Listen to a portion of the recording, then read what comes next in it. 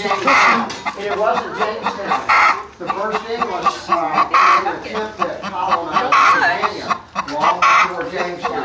Jamestown was the first permanent English settlement. Have y'all heard of the lost colony of Roanoke? Okay, that was led by Sir Walter Raleigh in fifteen eighty-three. That sounds really uncomfortable. Men and women come to look at what they thought was the, was Virginia, and they wound up, they were looking for the Bay of Chesapeake, and they wound up hitting the barrier islands of North Carolina. If you go to Nag's Head or Kitty, that breeze feels good. If you go to Nag's Head or Kitty Hawk, are you familiar with uh, Kitty Hawk? Alright, you go down Highway 12, down Beach I want her to Road, take to mine. Nag's Head. When you How get many down is she to weighing? Railroad Junction, I you'll do go over the bridge I to don't know. Roanoke And that's where the famous lost colony, the colony of Roanoke is settled.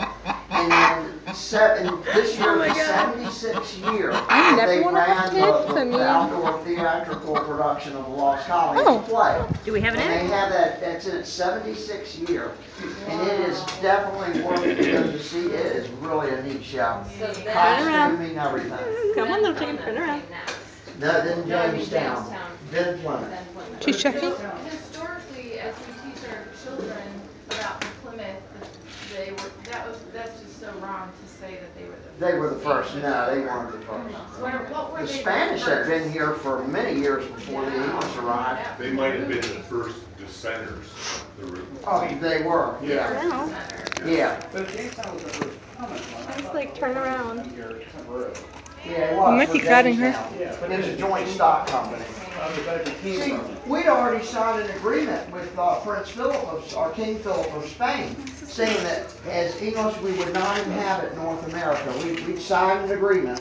They claimed all this land. But nothing in that agreement said we couldn't come over here as a joint stock company to extract resources to send back to